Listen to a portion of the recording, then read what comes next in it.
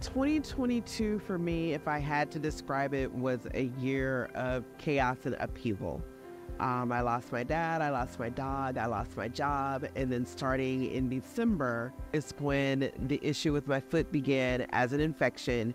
And by February of 2023, I had to go through the amputation. I was uh, Amputee Coalition. I was uh, advised to check into it when I was going through the process of being amputated from my, my caseworkers in my hospital. Started following along, started getting involved with Amputee Coalition, learning about, you know, reading the blogs, subscribing to Thrive, getting involved with uh, a different, you know, organizations they're involved with also, and kind of just learning more to kind of getting shredded into the community a little bit. I was a world-class hurdler. I ran for the University of Arkansas.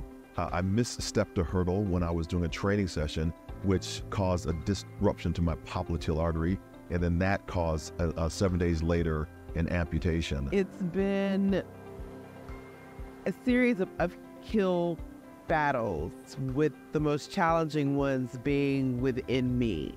Uh, but my vision stays clear. I'm doing this to the best of my ability and being content with the situation that I've been given. So I retooled, repurposed myself. Uh, I was on my way to officer candidate school at that time in the United States Army. I was on my way to the Olympic trials, and that was gone. So I swam for physical therapy and got so fast in the water that I somehow fluked up, messed up, and made the Paralympic swim team.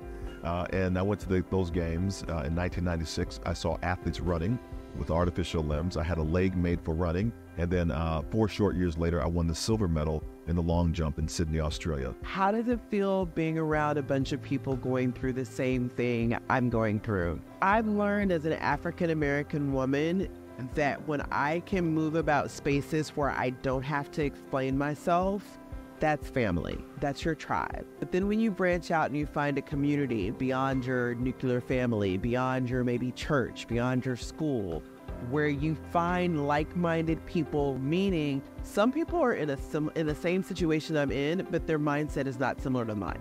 They don't have a growth mindset.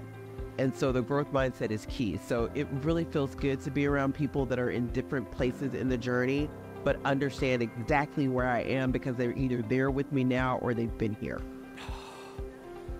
This event to me, it means I have a community. And that's it, man. It's just, there's a community for me.